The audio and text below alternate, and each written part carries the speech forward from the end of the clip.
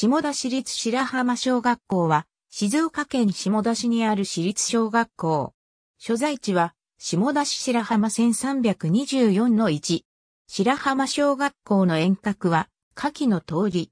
明治6年、寺に、白浜小学校の前身となる変容者ができる。変容者の名前は、諸教の一文から取られている。明治8年9月には、入り徳社に名前が変わった。明治11年に高浜に校舎を新築、白浜学校に名前が変わった。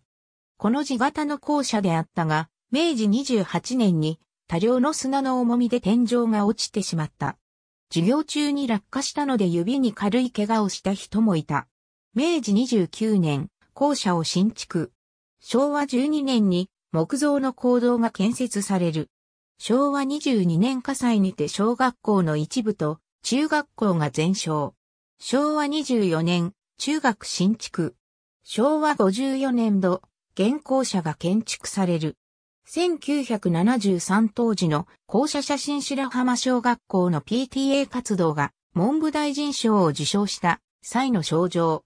愛知の会と呼ばれる PTA 活動が行われている。昭和22年7月30日愛知の会、準備会を開催。同年8月16日設立総会、昭和22年愛知の会創設。昭和25年7月14日、愛知の会研究発表会、同年11月3日、静岡県表彰。昭和38年静岡県教育委員会表彰。昭和43年静岡県 PTA 連絡協議会から表彰。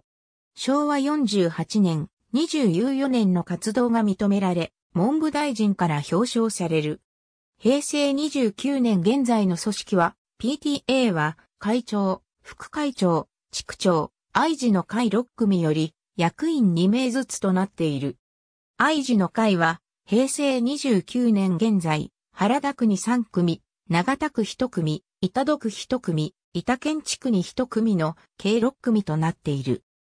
愛知の会の主な行事は5月に砂の造形、2月に菓子巻き、8月に奉仕作業、11月に旅行、12月にクリスマス会、年に2回の廃品回収がある。昭和41年、土屋京一先生の干渉を受け PTA 常任委員会にて増援を決定。昭和42年。PTA 役員と地区長らが白浜漁協のトラックと乗用車を使い、河津川流域へ第1回岩石集めを実施。処刑滝近くから玄武岩、奥原区八山の北側の谷間から石灰岩、沢田の石丁場から境界岩などを集め校庭の一角に配置し、岩石園とした。